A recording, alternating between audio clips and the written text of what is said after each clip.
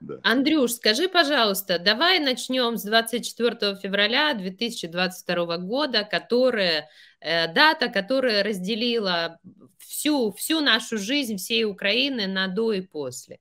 Э, как ты узнал о том, что началось широкомасштабное вторжение, и что ты стал предпринимать, что ты стал делать, и что ты почувствовал? Я э, э, еще не спал эту ночь, э, смотрел какой-то сериальчик, была прекрасная мирная жизнь, э, Киевская область, Житомирская трасса, э, волшебный дом. И потом я услышал, понятно, взрывы, вышел на улицу. Ну и потом уже, конечно, вся лента была во вспышках, фотографиях. Я понял, что началась война, но я человек не военный сам – э, внутри, больше человек там креативный, творческий, вот, ну и как-то на это не сильно обратил внимание. Потом мне позвонил мой друг и говорит, ты выходил на трассу, это уже было 25 число, а, я живу недалеко от Житомирской трассы, я говорю, не, не выходил, он говорит, выйди, посмотри. И я сел в машину, буквально 500 метров, доехал до трассы и увидел э, э, кадры из э, фильма «Апокалипсис». Ну, то есть я увидел 8 рядов автомобилей, которые двигаются медленно-медленно, двигаются на запад. Это были в основном женщины, дети и животные. То есть э, женщины, орущие дети и кричащие в переносках коты. То есть это выглядело вот примерно так. И э, все обочины были, э, в общем, засажены этими ходящими в туалет женщинами. Э, машины бились, э, э, 8 рядов занято. Топлива нету, бросали эти машины. Ну, в общем, апокалипсис. Вот. Я когда это увидел, я понял э, уровень э, беды, которая пришла на нашу землю. Но в тот момент я еще не осознавал это на 100%. Вот когда начались обстрелы Житомирской трассы, когда эти машины начали разбегаться в разные стороны, и к нам в поселок в том числе какие-то прибалты, какие-то узбеки, какие-то люди вообще совершенно незнакомые нам, вот, прятались у нас в бункере, у нас был бункер такой, э, там поместилось человек 200, вот, вот примерно так тебя, началась. Тебя под домом? В поселке у нас, да, у нас есть тут э, такой некий спорткомплекс, это было единственное место, где был бункер. Ну, его там не было профессионально, просто как бы был подвал такой большой. Mm-hmm. Вот. Ну и люди залетали к нам э, в поселок, ворота были, понятно, открыты, потому что им надо было куда-то прятаться, потому что везде все рвалось. Вот. Бросали машины и быстро залетали в этот бункер. То есть вот в чем мать родила. Да. Вот так вот началась наша война. И я понял, что это серьезная история такая, но это еще было не все. То есть это еще было все. Я не знал, что они придут так быстро к нам. Э, и они уже были через два дня здесь рядом с моим поселком. Да. Вот так Андрюш, началось. что ты делал? Что ты делал? Вот э, твое состояние, вспомни твои мысли и дальше вот с того момента. Что вы делали с, с твоими друзьями? Я э, увидел э, э, большую, большое расстройство и э, большое, скажем так, э, э, растерянность большую у людей в глазах. Это у наших мужчин, у наших женщин. И были люди, которые восприняли это все стойко, нормально, рационально, а были люди, которые все это воспринимали там увеличенно, то есть паниковали, и мы где-то там сутки там разбирались с организацией, там где взять воду, где взять медикаменты, у нас были какие-то непонятно незнакомые нам беременные женщины там в предродовом состоянии здесь, врачей не было, вот, ну и Э, мы попали в окружение. То есть получается, что вокруг нас э, с э, восьми сторон стояли уже русские. То есть стояли уже танки везде, они уже зарывались полностью, они здесь разобрали Э, тракторный салон, тут трактора продавали, ну просто как, как, как салон автомобильный, новые трактора продавали. Они его э, разобрали, выгнали оттуда все трактора, экскаваторы и начали перерывать вокруг здесь всю местность у нас. Вот. Но к нам в поселок пока не заходили. У нас было э, 6 человек и было 6 автоматов, то есть всего 6 автоматов, ну то есть 6 калашей было. Все, больше ничего не было совершенно. Вот. Ну и э, понятно, что там первое, что мы делали, это мы думали э, о э, защите от мародеров. То есть мы не думали совершенно э, э, воевать, потому что я там понятия не имею, как не имел, правильно сказать, как подбивается там бронемашина противника. Вот. Да, и в какой-то момент времени э, э, наш, наверное, общий с тобой друг, это Миша Радуцкий, это мой сосед, его здесь не было, он был где-то в городе, там, наверное, по, по службе, потому что у него уже депутат там народный, по-моему, я, вот я там не, не разбираюсь сильно в этих регалиях, вот, э, и я ему позвонил, я говорю, Мишань, я говорю, дай мне какие-то контакты хорошие. И он мне сбросил человека, с которым мы, дай ему бог здоровья, до, до сих пор дружим и вместе воюем. Вот. Э, сбросил человека, э, человек оказался там из э, структуры, из серьезной. Вот. Ну и мы начали получать задачи. То есть война – это задачи и выполнение задач. Потому что если все будут делать там то, что им кажется правильным – Э, будет там дикий хаос, и из этого ничего хорошего никогда не выходит. Вот, и они нас начали координировать. И когда я увидел первый раз удар нашей артиллерии по э, колонне, я ее увидел своими глазами, э, по колонне, такой колонна была где-то, наверное, ну, машин 50, наверное. Вот. А, ударила наша артиллерия со стороны Белогородки, откуда-то я видел, что летела. Единственное, что я по рации поймал команду, хлопці, ховайтеся. Хлопцы, да, э, и вот, и э, наши артиллеристы, конечно, работали как э, ювелиры, просто, ну, то есть колонну раздолбали там в течение, там, не знаю, трех минут, там просто ничего не осталось, просто каша такая. И мы, когда вышли на Житомирскую трассу, там был такой, ну, вот как такая смерть, умноженная на смерть. Э, и э, все вот, вот эти развалины дымятся, горят, никого нету. Мы не нашли ни одного трупа. Ну, то есть э, была такая температура горения, что оно все превратилось в прах, вообще в пыль полностью. И вот с этого первого обстрела началась, началась моя война. Таких колонн было четыре здесь. Ну, их подтвердили. Это те, которые вы с ребятами, вот шесть добровольцев практически, да? с да. в руках. Ну да, уничтожили, конечно. Уничтожили оккупантские колонны еще тогда, когда они пришли под Киев. Мы не уничтожали их, мы навели на них. Э, да, мы точно дали координату, где они остановились, э, где у них стоит прикрытие. Они не смогли отойти просто физически. А потом ночью э, нам дали информацию, уже не могли летать, не могли летать беспилотники наши, не могли летать самолеты, не могли летать вертолеты, потому что они поставили здесь мощное ПВО, и его надо было найти. И мне я первый раз узнал эти термины, там, БУК-М, э, э, ТОР, вот эти системы. И они говорят, найдите Тор, найдите Тор. У вас там стоит два Тора. Два Тора в вашем квадрате стоит. Ну, ночь, мы в окружении находимся. И у меня два парня, они сейчас тоже служат Э, на белорусской границе, э, ушли, ушли потом подписали контракты. Вот, и они вымазались грязью, вот, и поползли, э, поползли туда корком. Вот, и подползли к ним, а они чувствовали себя совершенно спокойно, как будто они домой к себе приехали. Это Жили костры. Бучи, да, в районе это, Бучи. Э, это район, это получается между Макаровым и Стоенкой. Это, да, это, это Березовка, Бузовая, uh район Матыжина, это вот, вот этот район был. uh Вот, и они подползли к ним вплотную, нашли этот один Тор, нашли, второй мы не нашли, один нашли Тор, понятно, тут же передали координаты, тут же по нему прилетело по этому Тору. Хлопці, там... ховайтеся.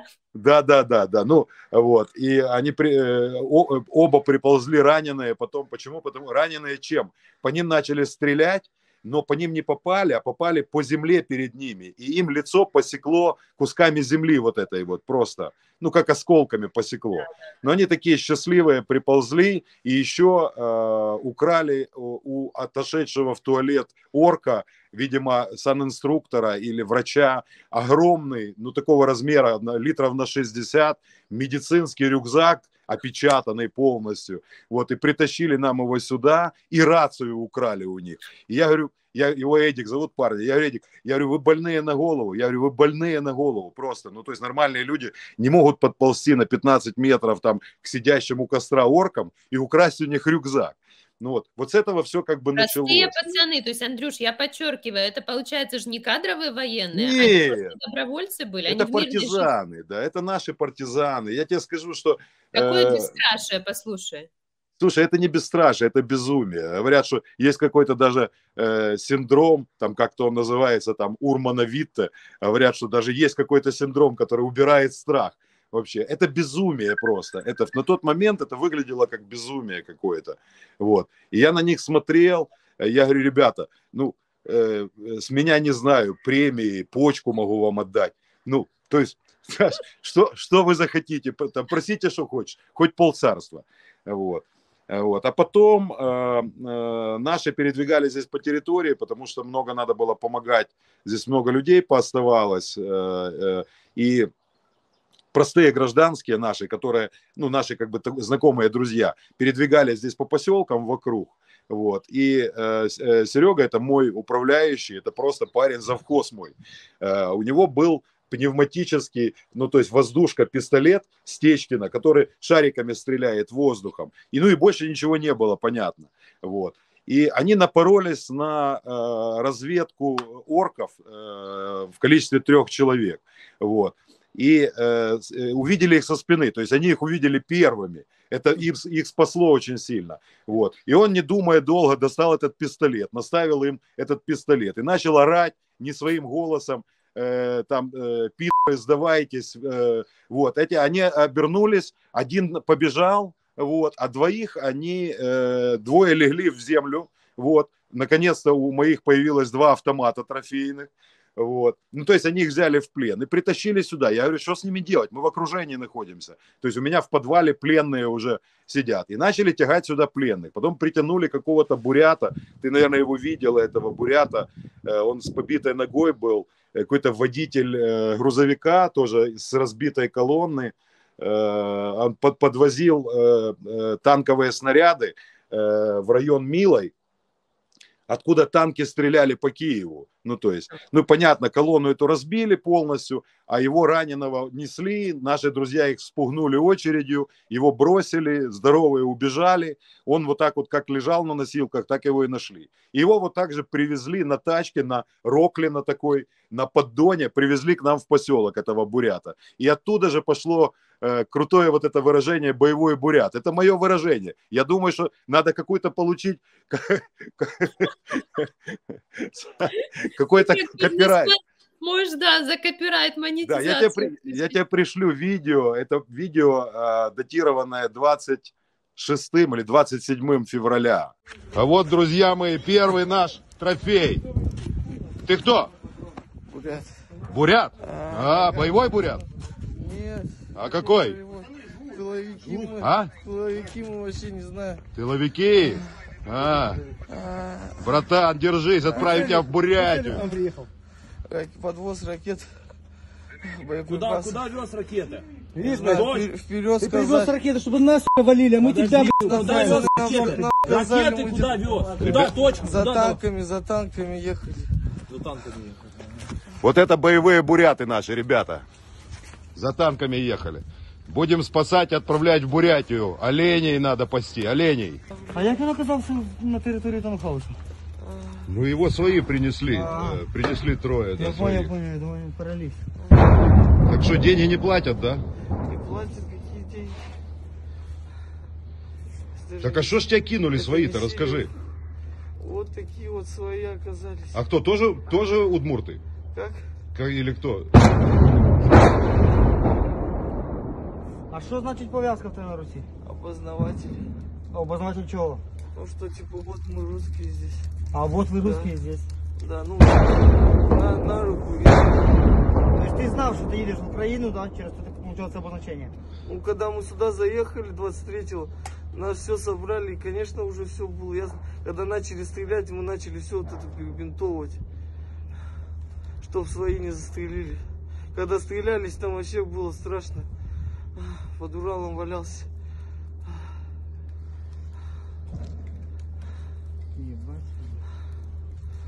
Андрей, помогите, пожалуйста. Каким образом? Посмотрите куда-нибудь. Каким образом? Что надо сделать сейчас? Как Позвоните. А обстрел идет? Ты что, не видишь, что обстрел идет? Это ракеты взрываются. Да. Сыпят осколками, ты видишь? Ну, вот 125-й, который танк везли. Это ракеты, да. Это, это боекомплект взрывается, я не уехали них. Вот это Тамара. Ты куда? Смотри сюда. Раздайте интернет. Откуда? Республику Бурятия. А? Республику Бурятия. Что стреляли по нам? Не знаю. Ну, кто? Друг Я твой стрелял? Стрелял, я, я сам не стрелял. я Как зовут его? Не знаю, тоже А впервые. тебя как зовут? Данил. Данила. Все, лежи, будешь живой, будешь не Какого дергайся. года рождения? Блять, блять, 2003. 2003. Дайте нам стингеры. Вертолеты летают. Есть второй, один сбежал. О, смотри, русская армия в чем наступает. Покажи, покажи эти его шеврон. Ёпта, вот. Оторванные живем в это отрывал, да? Что там, Тацинская? Вот она, вот она. Слава Украине! А, а вы их не сдали потом? э? Мы не могли, мы в окружении сидели. Ну, кому мы их? Мы их могли... э, у нас было три варианта. Мы могли их спрятать, первый вариант. Второе, э, отпустить. И третье, расстрелять. Все. Мы их спрятали. Вы их спрятали. Мы Всё, их спрятали, да. Поняла. Хорошо. Э, Скажи, пожалуйста, э, вот ты, ты сказал о том, что у вас там были беременные даже женщины на сносях. Да, Мишу родила. Родила женщина прямо в подвале. Я воду кипятил в чайнике на генераторе. Не было ни фельдшеров, ни врачей, никого не было. Приняла, помогла какая-то женщина, у которой тоже есть дети. Просто женщина родила в подвале парня, назвали его Миша. Боевой парень наш. Слушай. Слушай. Ну, жестяк, скажи такое. да. Мгм. Такое все было хорошо. И тут Миша рождается у меня на глазах, знаешь. Ну, понятно, мы в обмороке. Миша орет. Да. Вот так Причем это было. это, причем это по эмоциональному да, накалу еще круче, чем все остальное, потому что когда вот бед... я, я не представляю, бедная женщина в подвале под обстрелами, в антисанитарии, без медицинской помощи. Оле- Олесечка, я, э, э, это для меня такая самая была мощная мотивация.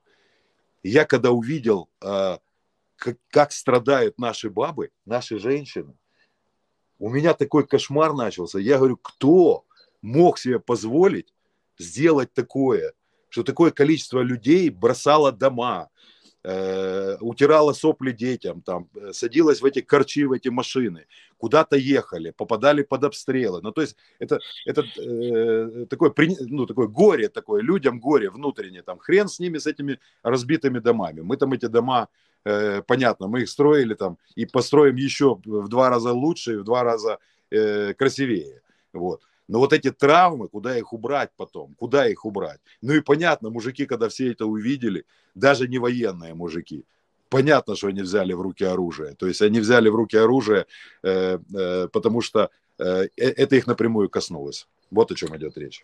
Какие уроды, вот какие россияне, оккупанты, вот, ну, это же не люди.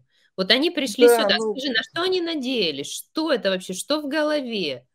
Слушай, ну я, я уверен просто, что э, э, они э, рассчитывали здесь на Крым плюс. Ну то есть я думаю, что они вот так шли. Но это же надо быть э, чистыми дебилами, чтобы группировка там в 200, там сколько их там было, 250 тысяч, идти там, например, на 5-миллионную кон- э, англомерацию Киев, например. Ну это же бред само по себе. Если в Киеве там они же знают информацию, у них же Медведчук был, ну, у них же доступ был, у них же СБУшники были, у них были все. Вот. Если в Киеве там, по-моему, под миллион э, стволов зарегистрировано официально только охотничьих. Ну, то есть вот, вот Киев, я имею в виду большой Киев, Борисполь, Макаров, Обухов, ну, то есть Киевская, вот это вот Киевский район весь. На что они рассчитывали? Они рассчитывали на страх, на русское авось, на вот это. Они рассчитывали на то, что, что все пообсираются, рассчитывали на то, что подумают, что моя хата с краю, это же Украина, они же знают. Э, Они думали, что украинцы, они э, конченые эгоисты, жлобы, ну то есть у них было самое э, плохое, э, э, самые плохие характеристики, они взяли самые плохие качества. Ну, И потому что ошиблись. они думали, как себя списывая. Они думали, что Наверно, такие же, да, как ну они да. просто. А оказалось, наконец-то, наверно, да.